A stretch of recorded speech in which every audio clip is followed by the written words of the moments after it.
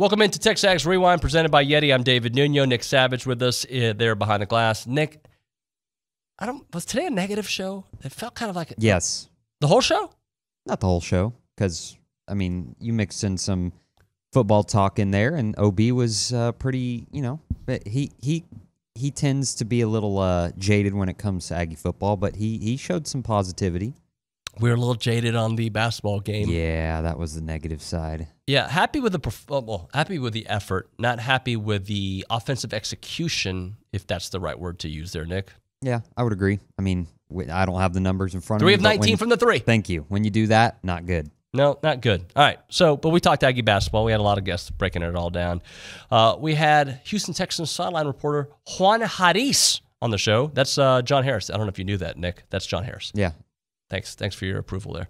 John Harris breaking down. He thinks uh, Michigan would have beat Georgia if Georgia would have made it to the championship game. I think Georgia would have won it all, but they weren't invited, so does it even matter? We talked a little bit about that. We talked about the NFL playoffs, and we had Ryan Brauninger in here breaking down the transfer portal. Good times there. Had by all. Check it out here on the Rewind. OB, you just made me feel good about something a moment ago. You were going through those rankings, or you were going through the final rankings, I Yeah. should say, and then you're like, bruh. You actually used the word bruh. no, I No, you didn't. You were like, bruh, A&M had a chance in all these games. Kind of go through that. I'm looking at the the final AP top 25. Alabama was fifth. They were in overtime with the t- national champion. You had an opportunity to win that game. You let it get away, Yep. like they did. You're on the road against Ole Miss with a lead in the final minutes, and Ole Miss finished ninth. Mm-hmm. And you know you're on the road against Tennessee, and you just pissed that one away Yep. and they finished 17th, right? And you did this with a backup quarterback and Some a coaching bad issues. culture, some coaching issues. So, with a starting quarterback, I, I hate. I'm doing this to myself. I hate to do this to myself. I'm I'm being uh, Al Pacino in Godfather Three. You're bringing me back every Pull- time I try to get out. They pull me back in. There you go. And I'm thinking, all right, with a better coaching and as and your quarterback and you know guys coming in to replace the guys going out, maybe there's a better culture. Maybe that top 24, 25 ranking isn't so outlandish. Next year, what would make you happy? Obviously, playoffs, 11 wins. I'm just saying, like, if what kind of improvement? Is a nine win season going to Not- make you feel happy? Okay, nine wins Before the bowl, by the way. Yeah, uh, yeah, nine wins would make me happy, but I still maintain that A and M, with all the investment and all the advantages, should expect ten wins a year. Thank you. By the way, I've gotten to a point that outside of the Orange Bowl, bowl after in 2020, bowl wins don't count on my record anymore, unless it's a playoff. Yeah, Like I don't care what you do in the taxidermy bowl. I don't care. I mean, I want you to win, but like I'm not adding that to my 10 win season. Oh, hey, we got 10 wins. Unless it's a bowl of substance, I don't care anymore. You're absolutely right. I think there's this thought that, well, you know, at 12 teams, we'll get four from the SEC. You know, like, we just got to be top four. Like, uh, I don't think so. Um, because if if you're thinking that in the SEC, even the most reasonable Big Ten fan is going, well, if you're thinking you're getting four from the SEC, well, we're getting three from the Big Ten. Well, okay, that's seven. Well, wait a second. You got to have five champions, right? So you're only getting seven seven, uh, uh, what is it, uh, at large At-large. bids. At large, and one of them's got to go to a, a non power five, right? So you start doing the numbers on this, man, wait a second. We, we can't afford to, to end up sitting there at, at 13, 14, 15 and, and let the, the committee decide our fate. I mean, that just can't happen. So, I mean, well, I think Ole Miss at the end of the year, well, at the end of the regular season, I think was 11. I think Ole Miss was 11, and Ole Miss had one hell of a year. 11. The rankings don't always match up with what the committee looks at, but that more right about this. That you got to be very, very careful. I think you might team in there.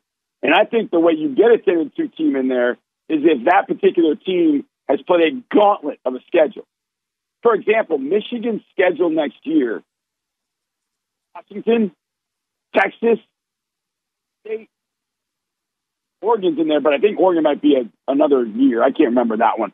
Um, but they play five teams that are legit top 10 ranked teams.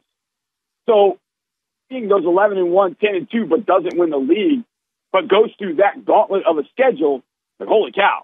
Um, as I said, was, was Texas. That's a non conference game for Michigan, but I think that's going to help a team that does finish.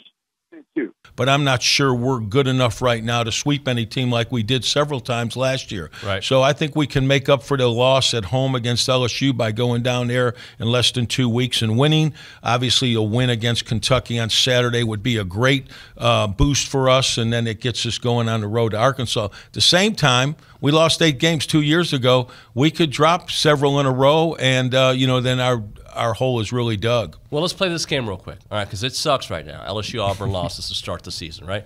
Uh, I'm, I'm blunt sometimes, but let's say you win these next three, which is a big if. I know that, but just you get Kentucky at home. If you play like you played against Auburn, at least from a rebounding standpoint, you got to get better offensively, but and that's going to be a harder game. But just for this conversation, you win that game, you go to Arkansas. That's not a gimme. We know that. But you win that game and you win at LSU. It doesn't erase what has happened, but at least you're like, all right, we're, we're, we're back in this thing. We have a chance now. You start losing some of these. Now you've put yourself in a huge hole. Absolutely, especially to win the league. But uh, I think right now uh, the coaching staff is probably figuring out a way to get more consistent and get the confidence up. The one thing I like about Buzz's teams is they seem to play better when their backs against the wall. You know, when you count them out, they just don't quit. Right. I, I loved our competitiveness last night. I mean, I thought we gave ourselves a chance to win. When you go on the road, uh, most coaches think let's shorten the game, make it a five-minute ball game, and you can beat anybody in five minutes. You know, sometimes it's difficult in 40 minutes. And then playing at Auburn, uh, I've talked to a lot of coaches in the SEC. They seem to think that's the hardest place to play in the league right now, the Auburn, uh, you know, venue where 20 years ago, you know, it was a joke. They'd have, you know, a tenth of the arena filled up. No one cared about basketball. Right. And now it's uh, it's a tough place to play. So we did some good things last night. Uh, they just need to keep working hard and hopefully get the breaks down the stretch. What is the latest, if there is a latest, with uh, Brandon Johnson? Uh, I don't know where they're at on Brandon Johnson. I, I, we felt pretty good about it ending the weekend. He's a nickel from Duke, Yeah. and he is a true nickel. So, and I believe that's what he's even labeled as on the Duke football roster from last year was a nickelback. Uh, and you would think that nobody knows more about the kid and how he would fit into what they what A and M wants to do defensively than Mike Elko. Uh, and so I, I think it would just be coming down to again, like what does that position look like now currently Yep. with the guys they've got committed, and then what is Brandon Johnson looking for in his next stop?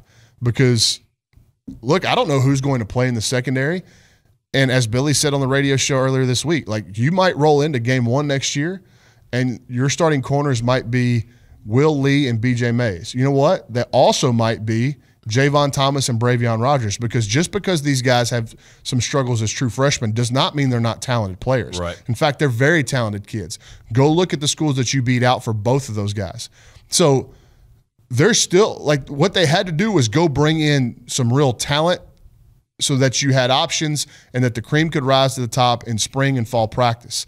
Um, so when you look at what they've done at corner, when you look at what they've done at safety, you feel good about whatever comes out of the wash there Yep. is going to have been really pushed in practice and they will have performed well against a, what we think is going to be a pretty talented offense. I'm looking at it right there. Trey Jones from Central Michigan, DeRicky Wright from Vanderbilt. And Will Trey Lee- Jones is here already. Will Lee is here already. Uh, DeRicky Wright is going to be one that's got to graduate this spring from Vanderbilt. Maybe, so, yeah. so- and he's a big dude. Is he? He's like six foot four, 210, 220 pounds. So like, who knows where how he's going to impact the game? And, and you know, is he a true safety?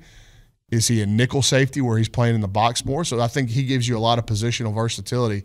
Nick, uh, along with buying Texags coffee at texags.com slash coffee, what do you think the people should do today? Well, they should subscribe. They should uh, also purchase a premium uh, subscription to That'd be nice. That's like step 1A. Uh, but subscribe on YouTube. Uh, follow us on Twitter, Instagram, You're hearing that noise? Yeah. All right. What? Did I make oh, it? yikes. Did I miss it? There's nothing there. Uh, Did I go three from 19 from there? Sorry. yes. Like, comment, subscribe. Anyways, see ya. See ya.